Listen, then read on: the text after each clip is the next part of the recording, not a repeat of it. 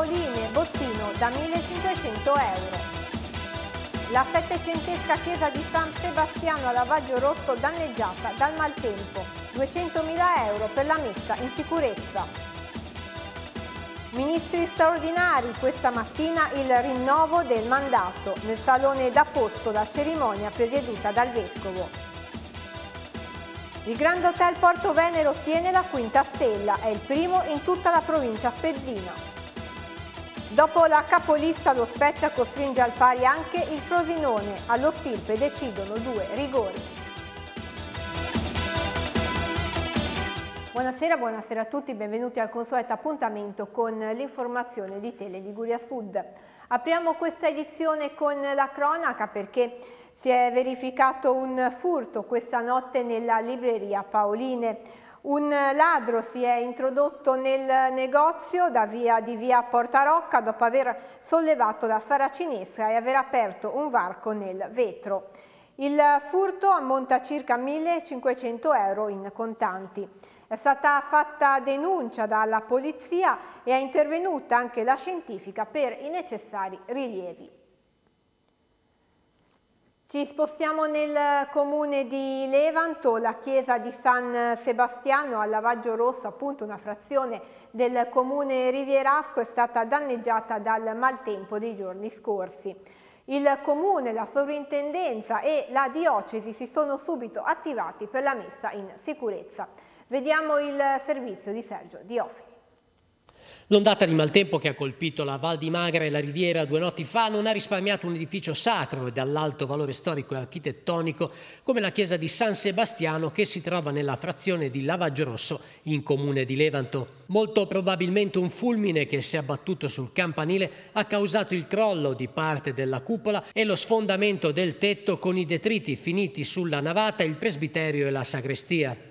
L'area è stata resa inagibile mentre la stessa frazione di Lavaggio Rosso è rimasta isolata in quanto le macerie avevano invaso l'unico accesso alla strada situato proprio sotto la chiesa. Il comune di Levanto si è subito attivato con la soprintendenza ai monumenti della Liguria e con la diocesi della Spezia, Brugnato e Sarzana per far ripristinare la parte crollata e chiedere i necessari finanziamenti. La diocesi ha appaltato i lavori in somma urgenza per un importo di 200.000 euro per mettere in sicurezza e limitare il rischio nella zona prospiciente la strada, oltre alle opere per la messa in sicurezza della torre campanaria, ha detto Augusto Marchioni, architetto incaricato dalla Curia. La chiesa di San Sebastiano è un edificio dall'importante valore storico risalente al Settecento, il cui impianto è rappresentato dalla classica architettura ligure con il tetto in ardesia e la torre campanaria molto slanciata con la cupola si sospenda il taglio di 19 pini in via San Francesco e si riconvochi il tavolo del verde. Lo chiedono Legambiente Liguria e Italia Nostra.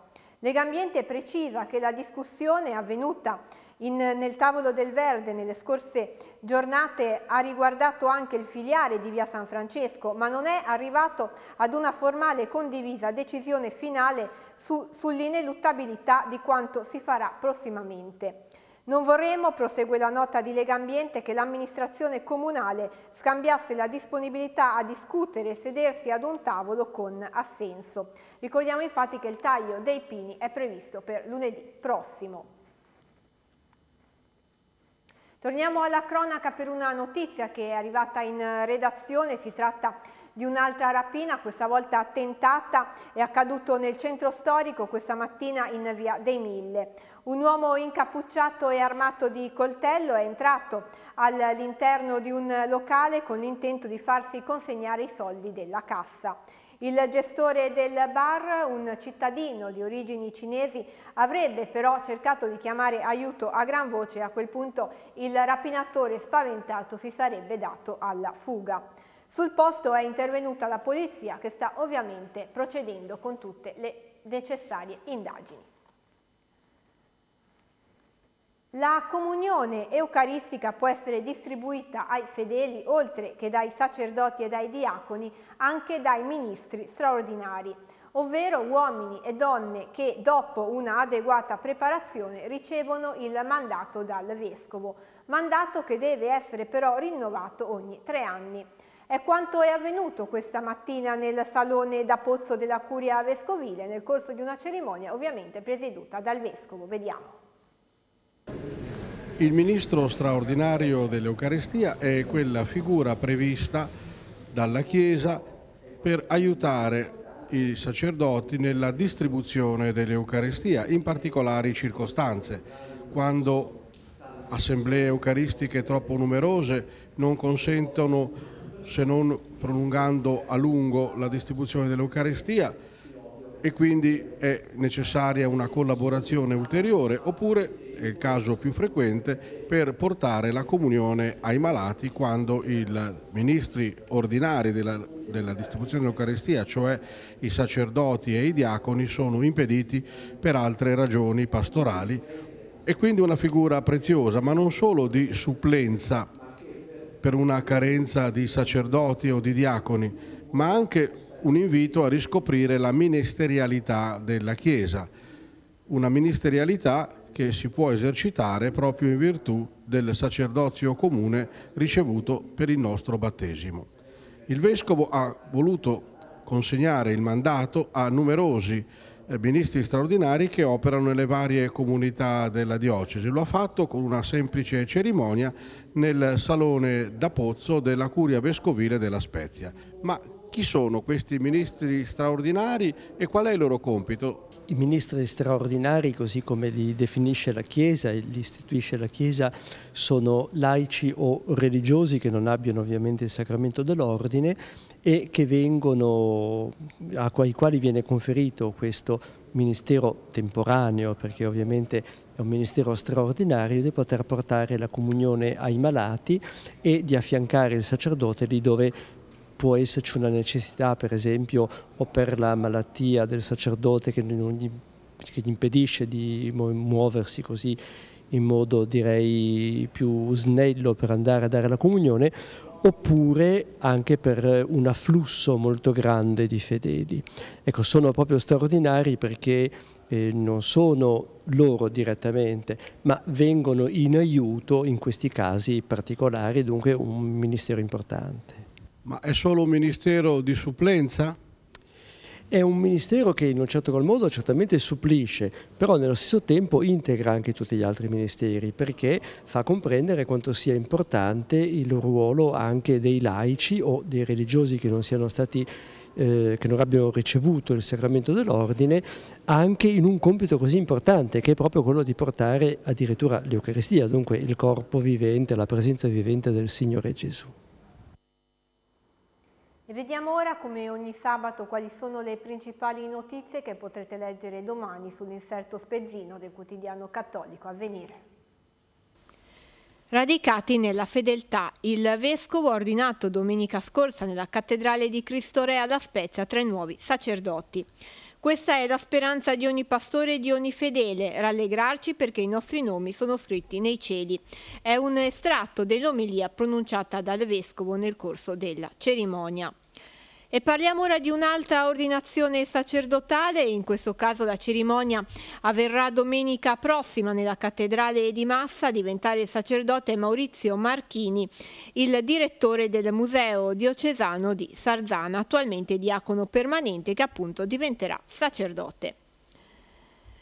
E a fondo pagina l'allerta di un campanile ferito. I cambiamenti climatici riguardano anche la Liguria, l'antica chiesa di Lavaggio Rosso lo conferma, appunto danneggiata dall'ultima ondata di maltempo. A fianco attacchi di panico nei giovani, un incontro aiuta a curarli. Studi recenti mostrano come questi disturbi siano in continuo aumento e ancora di più lo siano tra i giovani. Queste le principali notizie che potrete leggere domani sull'inserto spezzino del quotidiano cattolico Avvenire. Per Alfi, la sua famiglia e per tutti i bambini che rischiano o che sono già stati uccisi perché la loro vita viene considerata inutile, come detto testualmente dal giudice inglese Hayden. Sono queste le intenzioni del rosario che è stato recitato questo pomeriggio in piazzetta del Bastione. Alfie Evans è un bimbo di due anni di Liverpool affetto da una malattia non conosciuta. La sua vicenda è simile a quella del piccolo Charlie Gard. I medici dell'ospedale di Liverpool che hanno in cura il piccolo Alfie si sono rivolti alla magistratura per poter staccare il ventilatore e quindi uccidere il bambino. Il tribunale inglese ha dato loro ragione. Il padre di Alfie ha cercato giovedì sera di portare il proprio figlio fuori dall'ospedale dove lo attendeva un'equipe di medici e un'eliambulanza per portarlo all'ospedale pediatrico Bambin Gesù di Roma. È stato però bloccato dalla polizia. Davanti all'ospedale quindi si sono ritrovate oltre 2000 persone che hanno vegliato pacificamente fino a tarda notte, quando è stato chiaro che il bambino non sarebbe stato rilasciato dall'ospedale. Un'altra veglia è, prevista per questa sera a Liverpool e alla preghiera appunto si è unita questo pomeriggio anche la Spezia. Cambiamo argomento, parliamo di economia, il mercato del lavoro in Liguria è ancora in leggero ritardo verso la marcia dall'uscita del tunnel della crisi. Gli ultimi dati Istat elaborati dall'Ufficio Studi Confartigianato mettono in luce un recupero rispetto agli anni più bui, che dopo essersi pressoché stabilizzato negli ultimi tre anni è ora distante 1,2 punti percentuali dai massimi pre-crisi del 2008, quando il tasso di occupazione in Liguria era del 63,6%. Nel 2017 invece si è attestato al 62,4%. Secondo l'analisi, soltanto sei regioni italiane registrano oggi un tasso di occupazione superiore a quello di dieci anni fa. A livello provinciale a soffrire meno è Genova, segue Savona e poi La Spezia, dove nel 2017 il tasso di occupazione è stato del 63%. Si è svolto questa mattina nell'aula conferenze della CNA della Spezia a cura di Automotive Global Service un incontro formativo per gli autoriparatori sul tema dell'assistenza dei cambi automatici, dai robotizzati alla doppia frizione. L'andamento del mercato infatti si sta sempre più indirizzando verso l'automatizzazione e l'aumento dei cambi automatici nelle autovetture porterà sicuramente all'interno delle autofficine l'obbligo di nuove competenze. Il corso ha fornito tutte le nozioni per poter intervenire appunto sui cambi automatici. Grande successo per la 32esima edizione della Conferenza Europea della Società per i Cetacei che ha portato alla Spezia cinque giornate di studio dove si sono confrontati quasi 600 scienziati. Da sottolineare come alla buona riuscita della manifestazione abbiano contribuito gli enti locali spezzini dal comune all'autorità portuale fino a Confindustria. Vediamo il servizio di Laura Ivani e Sergio Diofi.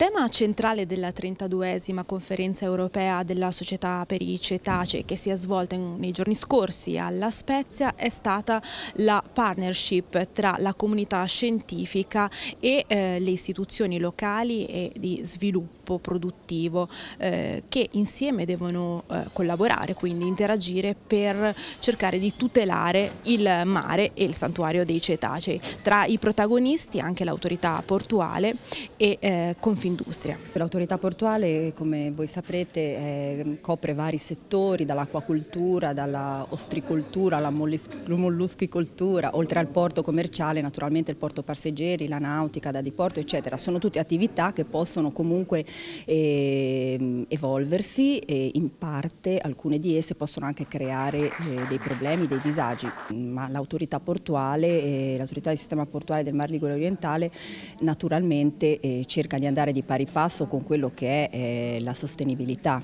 l'evoluzione della sostenibilità, degli strumenti per rendere sempre più compatibile le attività anche mh, impattanti come possono essere quelle del porto commerciale con la realtà che ci circonda, con, quindi con il mare e con l'ambiente circostante.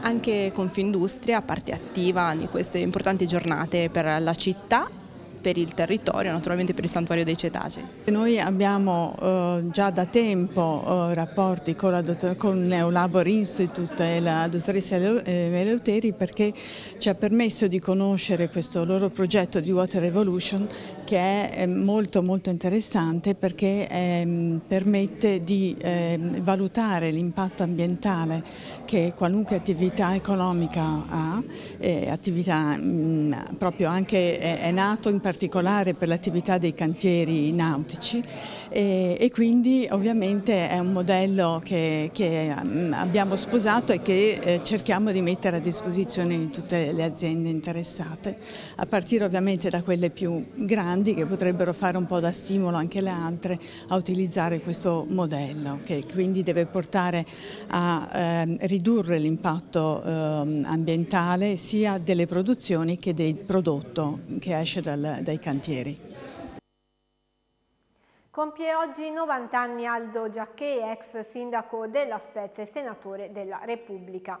Ad Aldo Giacché ha voluto rivolgere i propri auguri il deputato Andrea Orlando. Aldo è stato per tutti noi un esempio di rigore, coerenza e di metodo nell'analisi politica e nella lettura dei fatti. Ho avuto il privilegio di lavorare con lui e, perché no, di essere oggetto delle sue critiche, anche aspre ma sempre puntuali.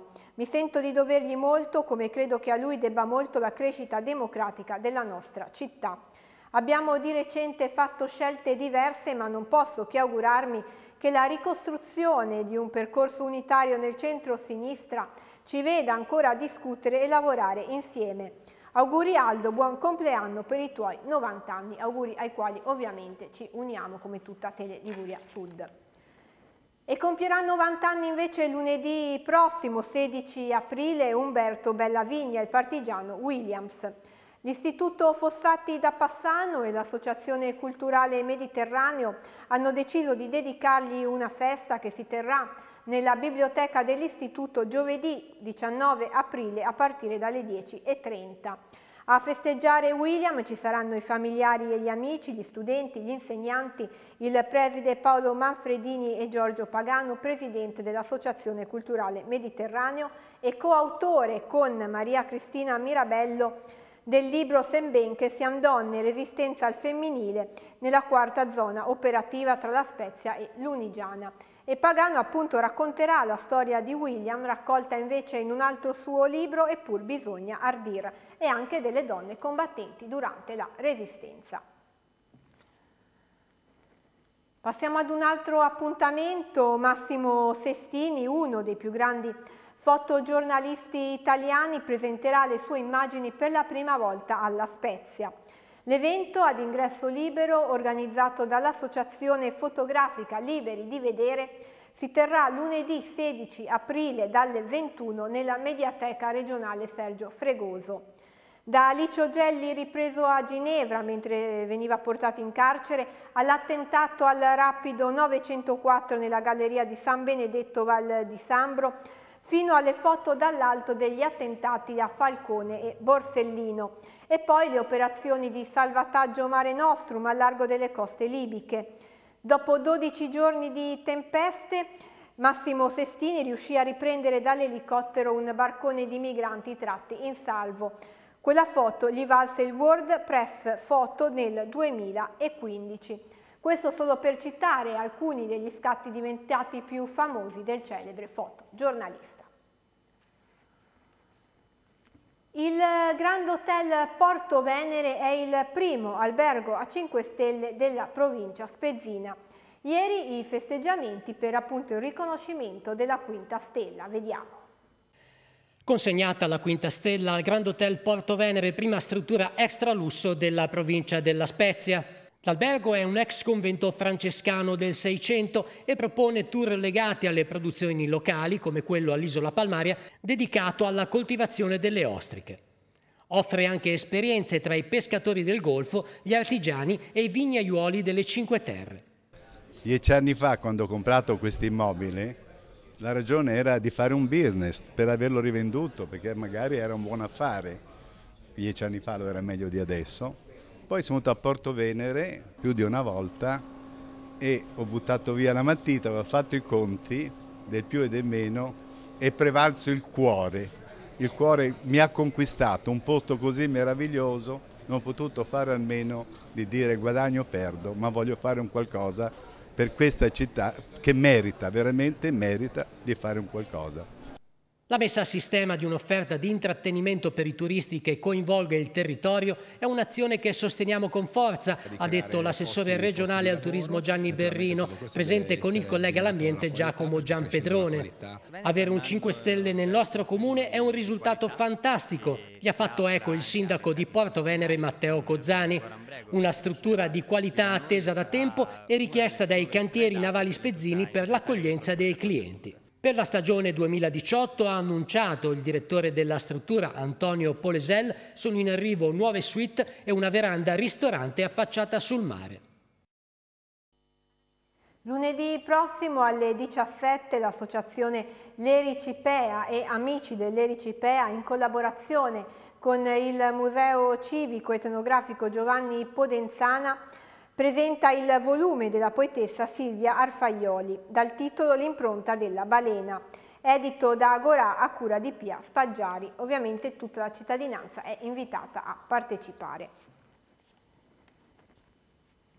La Commissione Sentieri e Cartografia del CAI della Spezia, che da anni contribuisce con i propri volontari al censimento e alla manutenzione della rete sentieristica del nostro territorio, si è fatta promotrice di un progetto biennale di alternanza scuola-lavoro che sta coinvolgendo alcune classi dell'Istituto Cappellini Sauro. Dopo quattro incontri di approfondimento teorico sta per iniziare la seconda fase del progetto che prevede uscite pratiche sul sentiero delle mura per mapparlo e individuare i punti di interesse storico, culturale e ambientale. Nei prossimi mesi poi a conclusione del lavoro di approfondimento e ricerca svolto anche nelle biblioteche della città sarà prodotta una cartina con allegato il materiale elaborato dai ragazzi. Cambiamo pagina, apriamo la pagina dedicata allo sport, lo facciamo con il basket parlando di due partite che si giocheranno domani. Il campionato è quello di Serie C Silver maschile e siamo alla, alle partite conclusive della fase a gironi dei playoff. Domani alle 18 entrambe in casa giocheranno sia la Tarros che il Sarzana. Per la Tarros impegno al Palasprint contro l'Aurora Chiavari, per il Sarzana impegno anche in questo caso in casa, interno quindi contro Ospedaletti. Palla 2 in entrambi i casi alle 18. E parliamo ora invece di calcio, vediamo quelli che sono stati i risultati della 35esima giornata del campionato di Serie B. Foggia Ascoli 3 a 0, Parma Cittadella 0 a 0, Brescia Carpi 1 a 1, Empoli Pro Vercelli 3 a 2, Frosinone Spezia 1 a 1, Novara Ternana 0 a 3, Palermo Cremonese 1 a 1, Perugia Venezia 1 a 1, Pescara Bari 2 a 2, Salernitana Cesena 1 a 1, 1 a 1 anche tra Virtus, Entella e Avellino.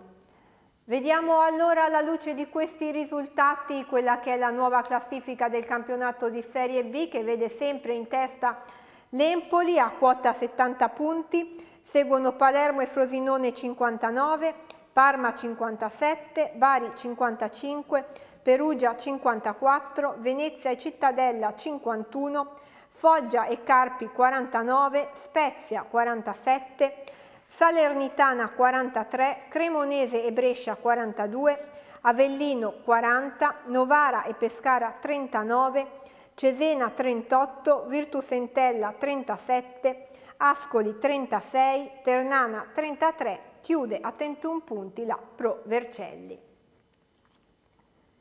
Lo abbiamo visto quindi dai risultati, a Frosinone è finita la partita 1-1 tra Frosinone e Spezia, uno Spezia quindi che dopo aver fermato la capolista Empoli costringe al pareggio anche il Frosinone che come visto dalla classifica è una delle formazioni d'alta quota di vetta.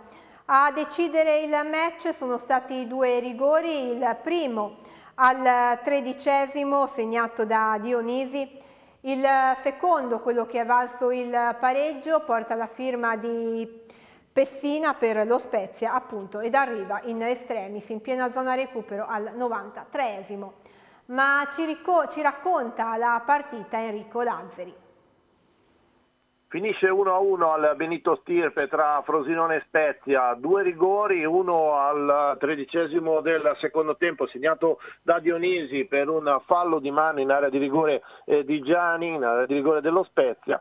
Dall'altra parte al 93esimo è ancora Pessina a pareggiare proprio su calcio di rigore, molto freddo il giocatore di scuola Milan ma adesso di proprietà dell'Atalanta che mette nell'angolino opposto da dove si butta il portiere un calcio di rigore concesso per una trattenuta, anzi un paio di trattenute sospette in area di rigore dei Ciociari. È stata una gara dominata praticamente quasi nel primo tempo dai, dagli uomini di Fabio Gallo che sono riusciti ad imbrigliare un Frosinone eh, molto contratto che non riusciva ad esprimere il suo gioco, eh, Spezia che eh, andava vicino al gol in un paio di occasioni soprattutto con un colpo di testa su calcio piazzato da parte di Pessina, la palla colpiva la parte inferiore della traversa ma rimaneva in campo, quindi Spezia che poteva andare in vantaggio nel primo tempo, il Frosinone reagiva solamente con una conclusione da lontano eh, di Dionisi. Secondo tempo dove i Ciociari prendono campo, cercano di chiudere lo Spezia nella propria metà campo, non ci sono state grossissime occasioni, ma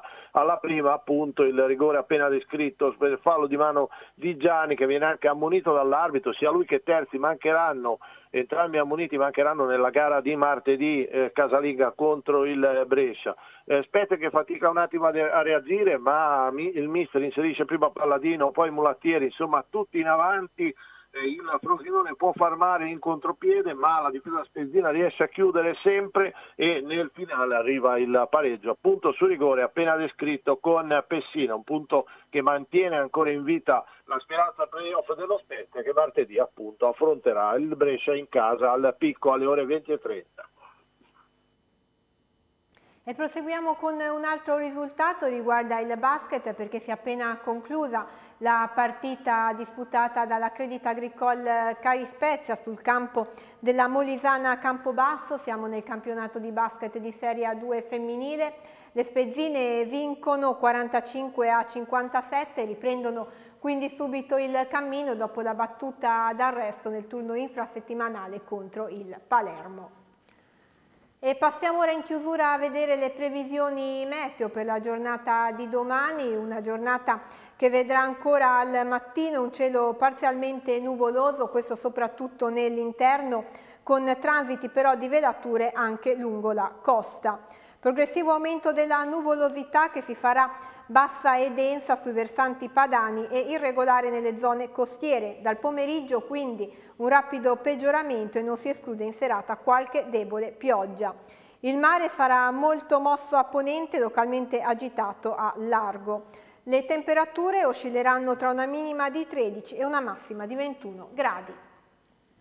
Con il meteo, come sempre, si chiude il nostro telegiornale e a me non resta che ringraziarvi e augurarvi un buon proseguimento di serata. Grazie, arrivederci.